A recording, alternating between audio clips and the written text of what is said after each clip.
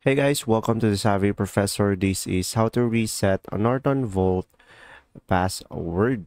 So, in order for you to do that, just uh, simply go ahead and uh, click on this extension and go to Norton Password Manager. And uh, from here, guys, uh, just click on Open Web App.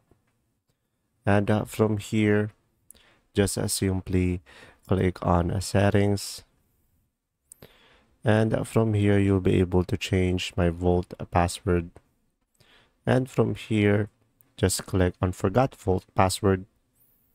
And from here click on reset your vault.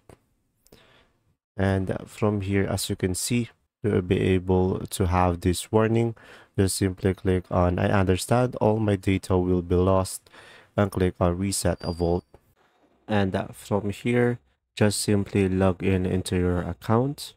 And uh, from here once you log in back again you'll be able to have this warning again and click on reset. And there you go. If this video was helpful please like and subscribe and thanks for watching. See ya